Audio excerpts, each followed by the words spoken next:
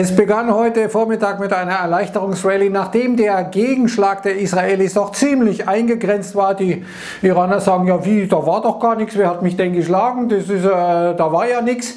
Insofern äh, ist das natürlich eine absurde Situation. Da sagt einer nicht, dass es gewesen ist und der andere leugnet, dass da irgendwas passiert ist. Äh, schon eigentlich absurd. However, die Märkte erstmal erleichtert, weil sie sich gesagt haben, ja gut, der Iran hat jetzt keinen Grund äh, irgendwie zurückzuschlagen oder es wieder wieder einen Gegenschlag zu machen, dieses Tit for Tat.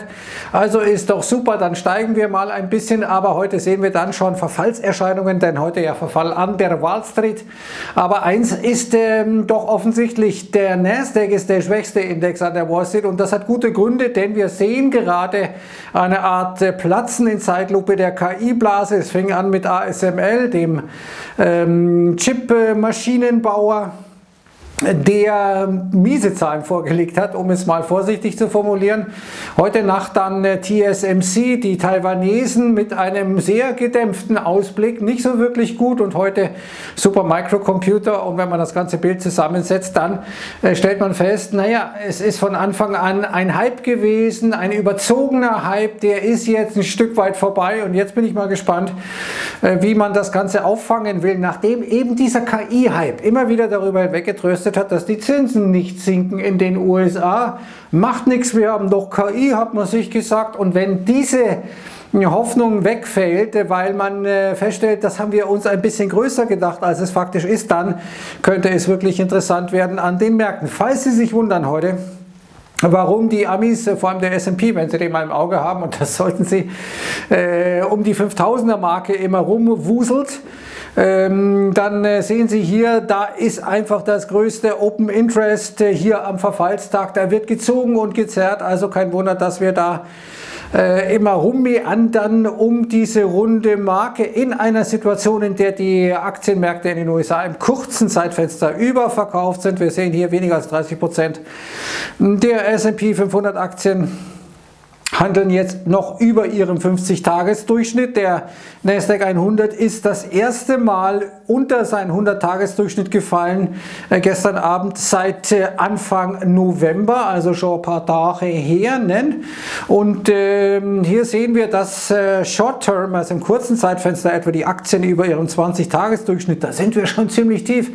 Äh, da ist äh, manches schon passiert, wo wir ähm, jetzt äh, in einer Situation sind, dass eigentlich so ein Bounce äh, technisch immer wieder gerne kommt. Und interessant ist die Beobachtung, dass nach wie vor aber 40 Prozent der Aktien über ihrem längerfristigen 200-Tages-Durchschnitt handeln, der in den USA stark beachtet wird, aber genauso viele äh, unter ihrem 50-Tages-Durchschnitt äh, sind. Das heißt, wir haben so eine Aufspaltung. Jetzt längerfristig ist das noch so einigermaßen okay, kurzfristig trübt sich das Bild ziemlich deutlich ein. Wir hatten eine solche Situation im gesamten letzten Jahr nicht. Also wir sehen, da divergiert etwas und hier auch nochmal viele Parameter, die kurzfristig schon ziemlich überkauft sind, äh, die äh, durchaus eine Rallye, eine Gegenbewegung möglich machen, die dann vielleicht beim S&P 500 wieder gehen könnte, zum Beispiel äh, zur 50-Tageslinie, die könnte ähm, dann bei 5100 in der Zone, könnte das Ganze nochmal hinlaufen. Aber wenn wir es nicht schaffen, diese Marke zu erreichen oder diese Gegenbewegung nicht kommt, dann könnte es auch weiter Richtung 4900 gehen äh, und dann eben auf den 200-Tages-Durchschnitt, der deutlich weiter unten ist. Dann wären sogar Kursziele um 4800, 4600 Punkte im S&P durchaus drin. Aber wir haben Jim Cramer und wenn der sagt, der Markt hat seinen Boden noch nicht erreicht, dann äh, erhöht das natürlich die Wahrscheinlichkeit einer ähm, Rallye. Das ist gar keine Frage, aber es wird schwierig äh, für die Aktienmärkte, denn wir sehen, ähm, dass wir jetzt den größten zwei Wochen Abfluss haben aus US-Aktien, wie die Bank of America hier feststellt. Äh, es ist äh, vor allem äh, die schwindende Aussicht auf sinkende Zinsen, die hier nervös macht. Und gute Nachrichten sind jetzt nicht gute Nachrichten für die Märkte. Gute Nachrichten heißen ja, Wirtschaft steht gut da, Fed kann nicht Zinsen senken. Und auf der anderen Seite sehen wir an den Kreditmärkten jetzt schon durchaus Stresserscheinungen. Stichwort High Yield Bonds. Die Renditen, die Risikoprämien steigen recht deutlich und wir dürften Wahrscheinlich jetzt die dritte Woche in Folge, kann sich alles noch ändern, aber da müsste schon noch eine richtige Rallye stattfinden, negativ ähm, aus dem Handel gehen. Und äh, einer der zentralen Gründe ist natürlich die Fed. Äh, schauen wir mal, wir haben jetzt zehn Monate seit der letzten Zinsanhebung ähm, und normalerweise dauert es durchschnittlich acht Monate nach der letzten Zinsanhebung. Ich glaube, die war im äh, Juli äh, war das so, Juli 2023 gedauert, acht Monate durchschnittlich, bis die FED dann wieder anfängt, die Zinsen zu senken. Jetzt haben wir schon zehn Monate und die Aussicht, dass sich das bald ändert, wird immer geringer, wenn selbst jemand wie Goolsby, der mit Abstand das doofeste Mitglied innerhalb der FED ist, sagt, ja, es macht Sinn zu warten, um mehr Klarheit zu bekommen und so weiter und so fort. Also selbst Goolsby erteilt jetzt einer baldigen Zinssenkung, für die er noch vor wenigen Wochen, vor wenigen Tagen massiv plädiert hatte, eine Absage und das äh, zeigt, dass äh, die Stimmungslage innerhalb der Fed sich komplett gedreht hat. Noch vor kurzem, nicht lange her, hat uns Herr Jerome Paul erzählt, ja, es fehlt nicht mehr viel und dann haben wir das Vertrauen, dass die Inflation auf 2% zurückgeht. Nope, äh, ist nicht so eingetreten und hier ein Faktor natürlich auch die Benzinpreise in den USA, die jetzt einen neuen Jahreshöchststand erreichen mit 3,68 Dollar durchschnittlich in den USA. In Kalifornien wird gerne über 5 Dollar, 5 Dollar die Gallone bezahlt. Kein Wunder, die haben ja eine ähnliche Energiepolitik wie wir in Deutschland. Ne, die äh, haben zwar dann äh, den größten, mit den größten CO2-Ausstoß, weil sie so eine grüne Energiepolitik fahren weswegen man dann Atomreaktoren abschaltet und dann auf andere Quellen umsteigen muss. Aber schwamm drüber, jedenfalls das ist die Botschaft, der Benzinpreis steigt. Jetzt sehen wir die Benzinpreise jetzt äh, 4,5% gestiegen im April. Das wird sich dann in den Inflationsdaten wieder bemerkbar machen. Kommen wir zu den Aktienmärkten. Hier sehen wir äh, mal einen äh, Vergleich mit allen Wahljahren. Das ist die schwarze Linie unten. Das ist das Normale. Was wir hier gesehen haben, ist noch besser als die super besten äh, Ergebnisse in Wahljahren oder wo die Aktienmärkte am besten performt haben seit 1949. Wir waren sogar noch besser. Und wir sehen aber jetzt, dass zwei Faktoren ein bisschen problematisch werden, die eigentlich gesetzt waren, nämlich Zinsen gehen runter, Wirtschaft bleibt super äh, Inflation kommt runter, das Narrativ äh, wird immer unwahrscheinlicher und jetzt eben auch das äh, Anschießen der KI-Euphorie. Und hier sehen wir mal, die US-Wachstumsaktien haben es nicht geschafft, noch weiter zu steigen, nachdem man im Prinzip jetzt hier einen Doppeltop macht zu dem, was man erreicht hat im Dezember 2021. Und hier sehen wir mal, das Boot ist relativ voll, da wird sich ein bisschen gedrängt und kann sein, dass da einer runterfällt. Man hat das Gefühl, Tesla ist der Wert, der hier als erstes mal runterfällt. Wir sehen aber auch Microsoft plötzlich chartisch nicht äh, angeschlagen, Apple ja schon länger nie wieder. Äh, kommt jetzt so langsamer bisschen unter Druck und apropos Nvidia, wir sehen, äh, dass äh, Nvidia oder genauer gesagt, dass wir null ähm, Earningswachstum hätten, also null Gewinnwachstum in den USA hätten, wenn es nicht Nvidia gäbe. S&P 500 ohne Nvidia minus 0,1% Earnings Growth, aber wir haben ja durchaus ein starkes Wachstum gehabt bei den Kursen und jetzt äh, plötzlich stellt sich heraus, ohne Nvidia würden die Gewinne nicht steigen, sondern bestenfalls stagnieren. Das ist natürlich eine schlechte Nachricht, die heute auch Meta erhalten hat, denn Peking hat Apple angewiesen, äh, WhatsApp und äh, Threads äh, von Meta aus dem chinesischen App Store zu entfernen. Uiuiui. Und wir sehen hier, Tech ist weitgehend äh, unter Druck. Natürlich Netflix, oder was heißt natürlich, aber Netflix nach den Zahlen, respektive dem ähm, Verweigern von äh, Abonnentenzahlen, äh, die, was man zukünftig nicht mehr nennen will. Inzwischen sind, ist das Minus ein bisschen größer geworden oder war zumindest.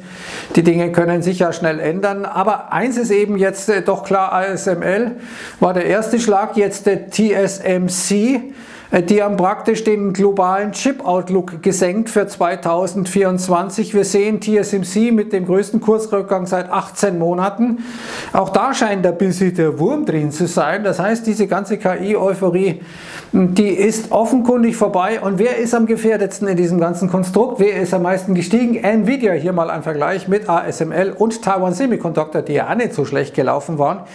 Aber hier sehen wir, da ist ein bisschen mehr passiert bei Nvidia. Mann, ist da viel Luft drin, wenn wenn das mal rausgeht, und hier sehen wir äh, von Gartner eine wunderbare Grafik, die mir ein äh, Finanzmarktweltleser zugemeldet hat. Vielen Dank.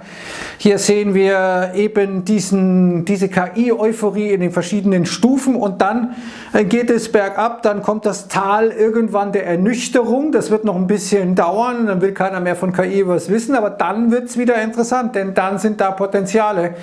Kurzfristig muss Luft aus dieser Blase entweichen, das ist das große Thema und äh, da sind wir auch etwa bei jemand wie Michael Saylor von MicroStrategy der jetzt seit Jahresbeginn 370 Millionen Dollar erlöst hat durch den Verkauf eigener Aktien, weil die Leute so schlau sind, seine Aktien zu kaufen, weil der nur ein Ziel hat, immer mehr Bitcoin kaufen, Bitcoin kaufen, Bitcoin kaufen.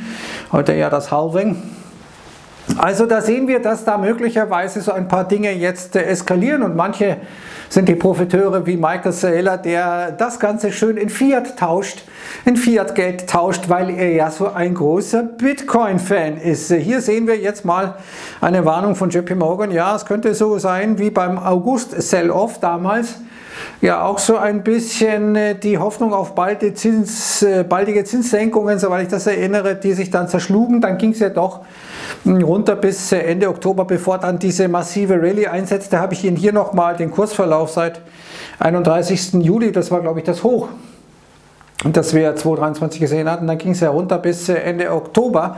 Und äh, Warnzeichen sind genug da. Hier habe ich mal einen Chart äh, displayed, äh, der wo praktisch vergleicht Consumer Discretionary, also ein offensiver Risk-On-Sektor gegen Consumer Staples. Und wir, das sind langweilige Dinge wie des täglichen Bedarfs, so Konsumgüterhersteller, ähm, meistens gute Dividende, aber äh, GAN, also wirklich defensive Werte. Hier sehen wir, der S&P ist weiter gestiegen, obwohl hier dieses Verhältnis zwischen Consumer Discretionary und Consumer Staples, also offensiv gegen defensiv, Risk Off, Risk On gegen Risk Off, hier schon intern, in der internen Struktur signalisiert hat, da stimmt etwas nicht und das sehen wir jetzt, dass das schwierig wird. Wir haben jetzt zunächst ja diese Erleichterung gesehen über die Begrenztheit des Gegenschlages von Israel.